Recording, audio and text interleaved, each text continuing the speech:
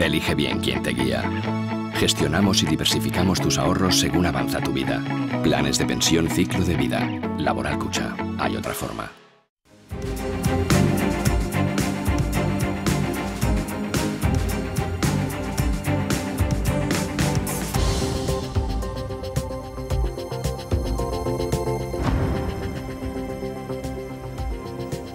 Aquí comenzamos el resumen de la actualidad de la semana. Una semana que ha estado marcada, sin duda, por el juicio a los cinco acusados de violación a una joven madrileña en los Sanfermines del año pasado.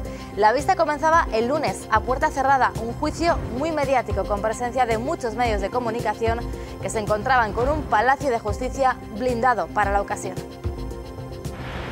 Pasaban unos minutos de las 9 de la mañana cuando los cinco acusados llegaban en este furgón policial al Palacio de Justicia, tres procedentes de la cárcel de Pamplona, otros dos, el militar y el ex guardia civil de una prisión militar de Alcalá de Henares. ¿Se van a declarar inocentes sus clientes? Hoy ha arrancado uno de los juicios más mediáticos, pero a la vez más cerrados a la prensa. A petición de la joven denunciante y de dos de los encausados, el juez ha decidido que se celebre a puerta cerrada, por lo que nadie puede estar presente en la sala de vistas.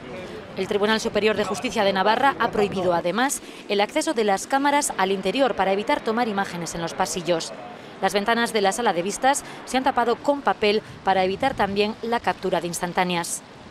En la primera jornada se han tratado las cuestiones previas, pero poco ha cambiado sobre el guion previsto. Se ha preguntado a los cinco acusados si reconocen los hechos. Todos se han declarado inocentes. Solo el ex guardia civil ha reconocido haber robado el móvil.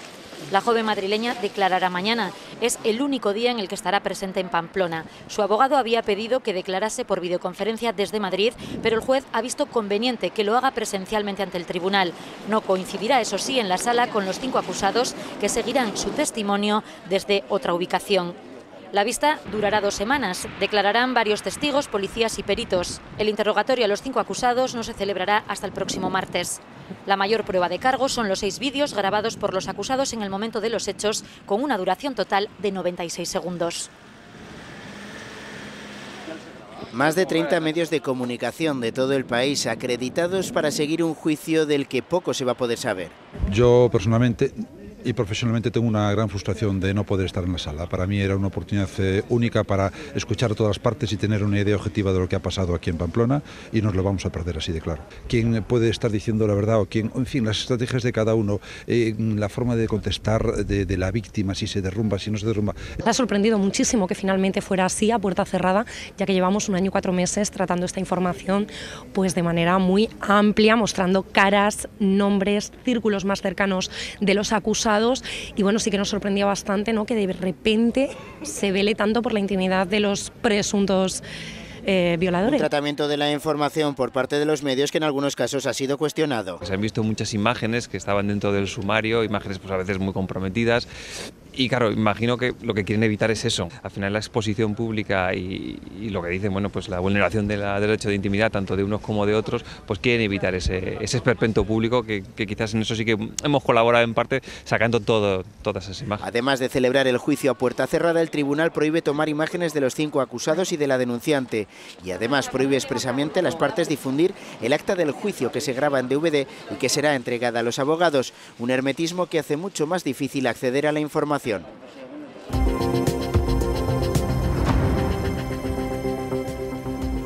El martes era una de las jornadas más importantes del juicio. Era el turno de la declaración de la denunciante, de la joven madrileña. Tras su testimonio, uno de los abogados de la defensa se mostraba satisfecho. Ese mismo día, la presidenta Marcos hablaba en Madrid de la actualidad navarra. Poco antes de las 10 llegaba al Palacio de Justicia para prestar declaración la denunciante, una joven madrileña que entraba a los juzgados en un furgón de policía municipal con los cristales tintados. La joven ha venido a Pamplona acompañada de sus padres y su tía, pero siendo un juicio a puerta cerrada, se ha enfrentado sola en la sala a las preguntas de la fiscal y los seis abogados, tres de la defensa y tres de la acusación. Los cinco acusados llegaban a la audiencia desde la cárcel antes que la denunciante. No han coincidido con ella y han seguido su testimonio por videoconferencia desde otra sala. Han sido casi cuatro horas de declaración. Finalmente, no le han mostrado ninguno de los vídeos que grabaron los acusados. Ninguna de las partes lo ha considerado necesario. No ha sido necesario, no, no hacía falta hacer una recreación sobre los hechos.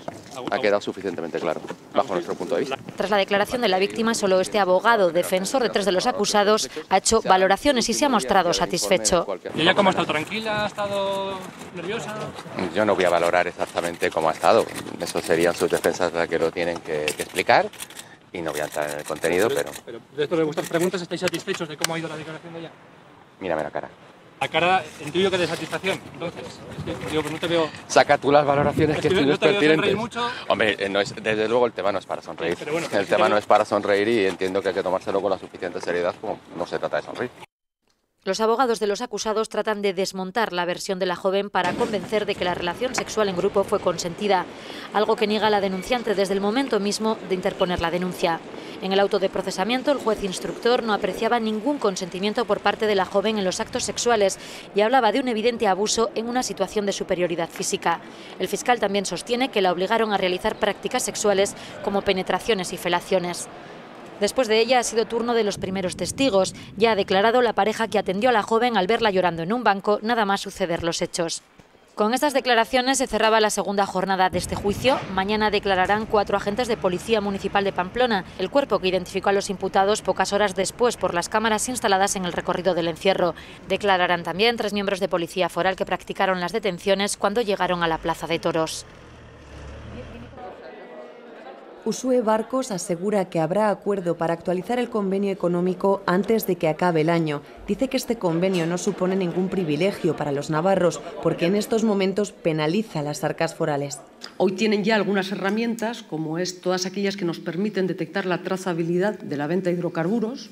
Hoy nos demuestran que las cuentas con las que se debía ajustar con Navarra, pues perjudican y penalizan a Navarra en decenas y decenas de millones anuales. Pasado el Ecuador de la legislatura, Barcos habla de estabilidad y crecimiento en Navarra, destacando, por ejemplo, que por primera vez vienen más empresas de las que se marchan. Hasta el mes de septiembre en Navarra se han creado 644 empresas frente a las 62 que se han disuelto y esto se suma, a esto se suma que los datos en 2017 señalan que por primera vez en tres años a Navarra vienen más empresas de las que se marchaban en el inicio de la crisis. Sin embargo, reconoce que en ocasiones hay que hacer encaje de bolillos para llegar a acuerdos. En lo que respecta al desencuentro por la ley de policía foral, dice que supondrá el repliegue de los servicios prestados.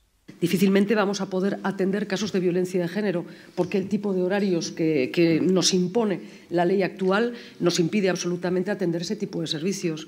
No vamos a poder atender eh, asuntos relativos, por ejemplo, eh, a investigación de asesinatos. Y en clave nacional, la presidenta ha asegurado que la crisis en Cataluña es la mejor expresión del fracaso de ambas partes. Lo que no ha entrado a valorar es si considera si hay hoy en España presos políticos. Lo cierto es que en la sociedad catalana hay, aquí ya no digo decenas y decenas, hay varios millones de personas pensando que hay presos políticos. Por eso de, de, debemos, debemos, debemos tenerlo muy en cuenta. Por último, se ha referido a la posibilidad de reformar la Constitución y eliminar la transitoria cuarta. Asegura que se trata tan solo de un señuelo electoral de UPN y del PP que nunca se ha llegado a efectuar.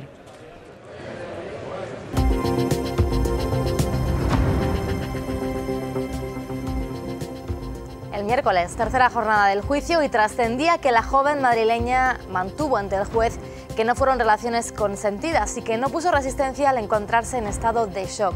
Ese día Pamplona presentaba su nuevo plan de movilidad. A partir del verano que viene, la velocidad máxima para circular por las calles de la ciudad será de 30 kilómetros por hora y las bicis no podrán ir por las aceras. El abogado de la joven madrileña se muestra satisfecho con la declaración realizada ayer por su defendida. Al finalizar la tercera jornada de juicio, no ha querido hacer declaraciones. No voy a hacer declaraciones. Pero lo ha comentado a los periodistas en uno de los recesos. El abogado considera que la joven siguió la coherencia de su primera declaración y mantuvo el tipo. Satisfecha la acusación, pero también la defensa. El abogado de tres de los acusados también interpreta que la declaración de la joven favorece la versión de sus defendidos. Entiendo que muy favorable. No voy a entrar en detalles. Imagínatelo. Parece bastante claro. Según informaciones periodísticas, la joven madrileña mantuvo su versión de que nunca quiso mantener sexo, que lo hizo de forma obligada, que no dio su consentimiento y que se vio sorprendida por una situación que no esperaba.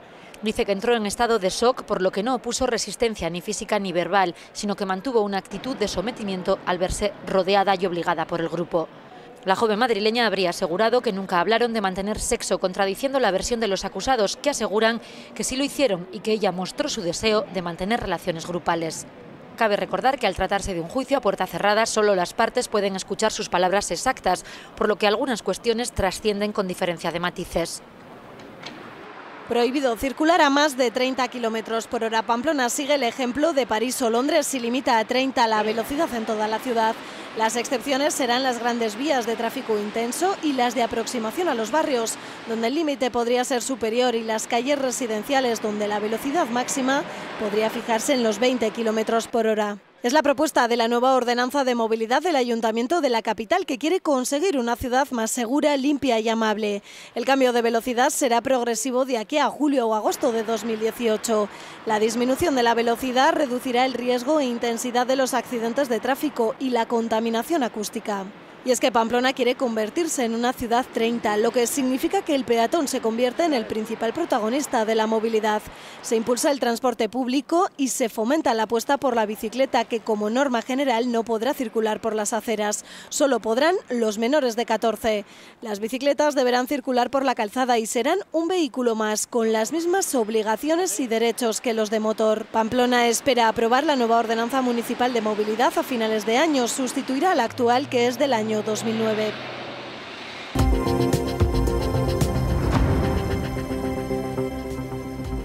El jueves será una jornada de importantes novedades. Las dos últimas sesiones del juicio serán abiertas a público y periodistas. Mientras tanto, en Madrid conocíamos las instalaciones del nuevo centro de la Clínica Universidad de Navarra. Las redes sociales arden en críticas ante la admisión como prueba por parte del tribunal de un informe de un detective que rastreó las redes sociales de la víctima y que ha sido presentada por las defensas. Críticas que en las últimas horas han ido increciendo. La sala ha tenido que publicar una aclaración con tres puntos en los que explican que el abogado de uno de los acusados presentó en su día un informe de un detective que después retiró, que el abogado del militar aportó otro informe de detective sobre la joven y sus publicaciones en redes sociales que ya fue admitido antes de comenzar el juicio y que lo que se ha admitido esta semana, en la primera jornada de la vista, a petición del abogado de tres de ellos, es una fotografía que recientemente la joven publicó en sus redes sociales. Un abogado que hoy pedía que solo se juzguen los hechos. Esto no es un juicio al machismo, esto no es un juicio al heteropatriarcado, ni esto es un juicio a la palabra más rara que ustedes quieran inventar en relación con la relación entre hombres y mujeres. Esto es un juicio por unos hechos que ocurrieron el día 7, ni más ni menos. Dejen, por favor, trabajar al tribunal, a la presión social, a la presión de, eh, redes sociales, que está haciendo un increíble juicio paralelo. Asegura que es excepcional que la sala haya emitido una nota aclaratoria al respecto. Eso sí, no ha querido explicar qué intención tienen con la presentación de este tipo de pruebas. Se trata de una prueba que ha sido admitida y por lo tanto es válida, que estará después sometida al, eh, a la valoración de la sala. Pero es que, es que, de verdad, y es que tengo que leer como, como si fuera, como si hubiéramos hecho una, eh, una tropelía jurídica. No, no, mire usted, hemos utilizado los medios de prueba. Mientras los abogados de la joven denunciante siguen sin realizar declaraciones públicas a la prensa, Martínez Becerra ha vuelto a asegurar que lo que se publica en los medios no se corresponde con lo que pasa en la sala de vistas ni con las declaraciones reales. Desde las acusaciones, en algún caso, se está informando o se está vertiendo información que no responde a la realidad de lo que está ocurriendo en la sala. Cabe recordar que siendo juicio a puerta cerrada, no hay acceso a las declaraciones y lo que trasciende es lo que las partes trasladan a los medios. Sobre una superficie de 46.000 metros cuadrados se levanta este nuevo complejo que ofrecerá a sus pacientes una atención clínica completa en 46 especialidades médicas, las mismas que en su centro de Pamplona, ya que han querido imitar el modelo que consideran de éxito. Es un modelo que genera conocimiento, es un modelo innovador, es un modelo, es un modelo donde potenciamos mucho la innovación y por lo tanto eh, eh, no pactamos con, con, lo que ya hacemos, sino siempre queremos mejorar, o sea que queremos aportar a esta sociedad en esta querida ciudad de Madrid. No venimos a dar lecciones, nada más lejos, queremos sumar, lo que queremos es aprender. Y si es posible, si algo tenemos de bueno, pues que los demás lo puedan utilizar. 500 personas, entre médicos, profesionales de enfermería, auxiliares, técnicos y servicios complementarios, nutrirán esta plantilla que tendrá dedicación exclusiva para ahondar en la atención al paciente. Fundamentalmente trabajamos para el paciente y para las personas. Entonces esto pues se ha tenido muy en cuenta a la hora del diseño del hospital, en cuanto a estructura y a funcionamiento. El complejo albergará importantes avances tecnológicos como una resonancia magnética de 3 teslas y se ha diseñado para que pueda crecer en el futuro y seguir ofreciendo a sus pacientes dedicación exclusiva a la investigación, la innovación biomédica translacional y a la sanidad, la formación de las nuevas generaciones sanitarias.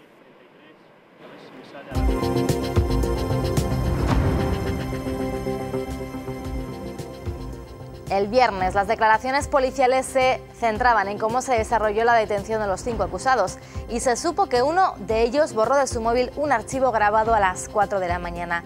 Ese día, el viernes, conocíamos más noticias como que casi una de cada tres llamadas que recibe el 112 son improcedentes.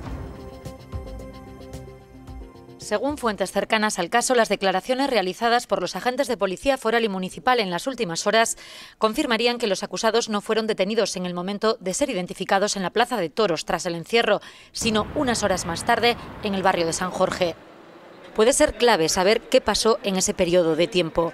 Algunas fuentes apuntan a que al ser identificados en la plaza, uno de ellos se presentó como guardia civil y ese hecho pudo confundir a los policías navarros hasta el punto que uno de ellos pudo haberle trasladado que buscaban a un grupo relacionado con una agresión sexual.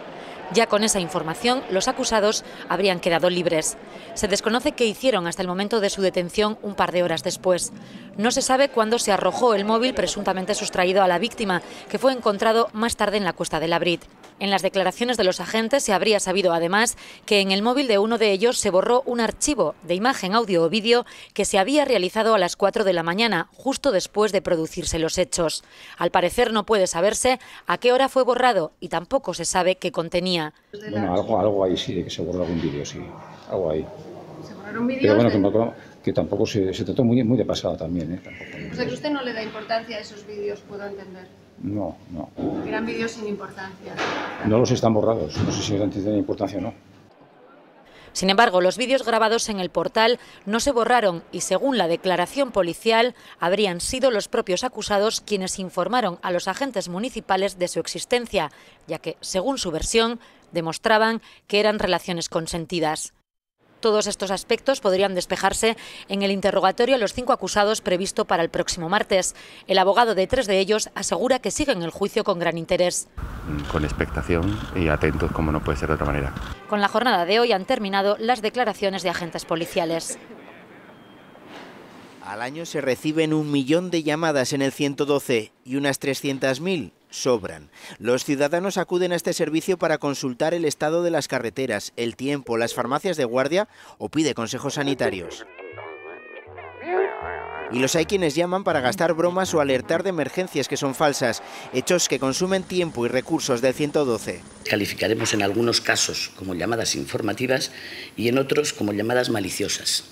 Suponen 3 de cada 10 atenciones prestadas por el centro coordinador y de 4.000 a 5.000 horas anuales de atención telefónica. Si localizamos una llamada de ese tipo, intencionada y que ha generado movilización de recursos, eh, lo derivamos a, a la policía, a la policía foral en este caso, y sabemos que ellos han llegado a, a plantear alguna denuncia e incluso a localizar al llamante. SOS Navarra es un servicio a disposición de la ciudadanía todas las horas del año para atender llamadas de emergencia y para coordinar todos los recursos sanitarios y de seguridad necesarios en cada caso.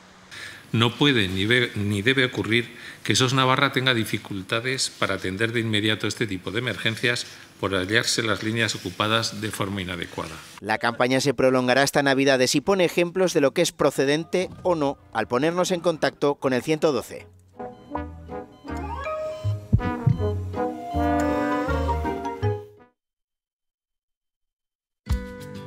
Eso es lo que yo quería, sobre todo eh, mueble noble y con una línea, bueno, pues rústica. Yo soy una persona principalmente muy tradicional, con lo cual me gustan las cosas eh, para siempre.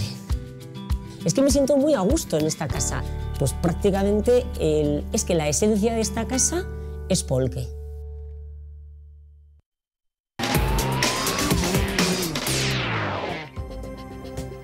Esta semana, Luis Zabalza ha tomado posesión de su cargo como presidente del club. Lo va a hacer hasta el año 2021, a la espera, eso sí, de lo que ocurra con la apertura de la vía judicial que ha anunciado uno de los otros dos precandidatos, Juan Ramón Lafón. Su cara durante la toma de posesión de su cargo como presidente de Osasuna lo decía todo. La Junta Electoral traspasó los poderes a Luis Abalza en un sencillo acto en el Sadar.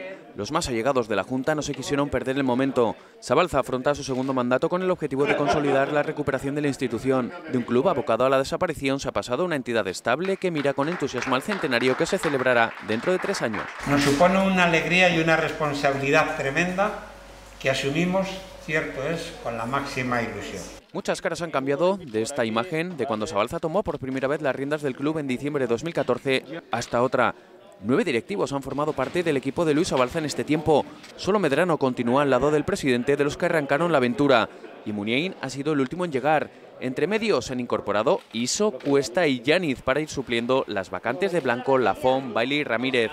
Los dos primeros no tiran la toalla y anunciaron que acudirán a la justicia ordinaria para anular un artículo de los estatutos y se convoquen de nuevo elecciones. Osasuna, en consecuencia, no tiene hoy un presidente electo como todos queríamos, sino un presidente autoimpuesto a la carrera, dictatorialmente y como resultado de un vergonzoso proceso de anulación y represión de la democracia. El presidente evitó valorar el anuncio de su opositor y se limitó a señalar que velarán por los intereses de la entidad. Cada uno eh, debe de defender sus derechos donde crea más conveniente, por lo tanto, si él entiende que tiene que ser en los tribunales, pues eh, que vaya. Sabalza no descartó una futura modificación de los estatutos para que no se vuelva a repetir un caso semejante y aseguró que bajo su mandato Osasuna seguirá siendo uno de los cuatro clubes deportivos del fútbol español. Yo lo he dicho desde que entré. es decir, Luis Sabalza nunca consentirá que Osasuna sea una sociedad anónima deportiva. Si alguna vez lo tiene que ser, no sea por culpa mía, dimitiré antes de convertirse en sociedad anónima deportiva. En el reparto de cargos de la nueva directiva, Cuesta y Muniain serán los vicepresidentes, Iso el secretario, Medrano el tesorero y Yaniz el contador. Venimos de una casa muy pequeña, entonces bueno, sí que quería un cambio importante. Eh, buscamos cosas modernas, pero tampoco que fueran típicas, tradicionales. Miré en muy pocos sitios y de hecho casi toda la casa completa la tenemos, la tenemos allá, porque es que fue encajando todo, porque encontré casi todo lo que estaba buscando pues, en, en Polque.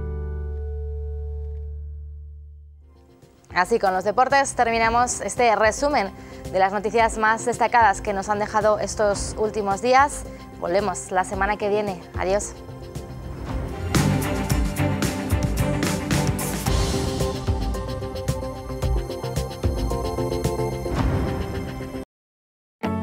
Bien quién te guía. Gestionamos y diversificamos tus ahorros según avanza tu vida. Planes de pensión ciclo de vida. Laboral Cucha. Hay otra forma.